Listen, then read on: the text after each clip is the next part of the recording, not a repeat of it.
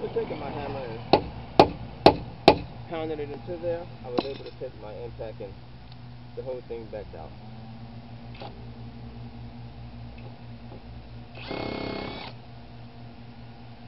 Right there.